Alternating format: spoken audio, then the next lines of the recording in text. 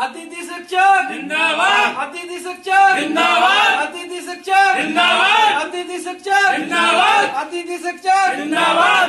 ये देखिए बदहाली का मौका हमारे जो अतिथि शिक्षक स्कूल में जाकर बच्चों को पढ़ाते थे उनके भविष्य की कामना करते थे लेकिन आज उनकी स्थिति ये हो चुकी है बद से बदतर हो चुकी है। गायों का गोबर उठाकर और कंडे पाथने के लिए मजबूर हो रहे हैं शिक्षक। हे शिवराज सरकार, तुम्हें शर्म आना चाहिए डूब कर भर जाना चाहिए।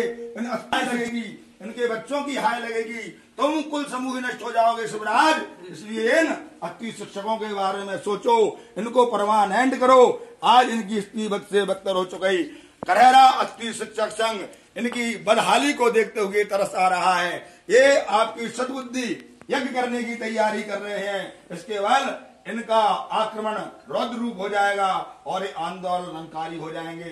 इसलिए हे शिवराज सरकार, हे शिक्षा मंत्री, माननीय नरोत्तम मिश्रा जी और माननीय ज्योतिरादित्य सिंधिया जी, कृपया इनको देखें। इनकी शकलों पर बारह बजे हुए हैं। आज अपने बच्चों को रोटी के लिए तरस रहे हैं, इसलिए उन्होंने गोबर उठाया है कि आपको सदबुद्धि आए, आपकी सरकार को सदबुद्धि आए और इन अतिथि शिक्षकों का भला हो सके।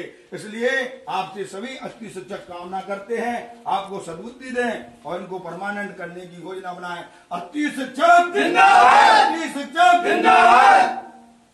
तो फ्रेंड्स अगर आप चैनल पर नए हैं तो चैनल को सब्सक्राइब कर लीजिए। इसी टाइप की अतिथि शिक्षक की नई नई जानकारी के लिए चैनल को सब्सक्राइब कर लीजिए।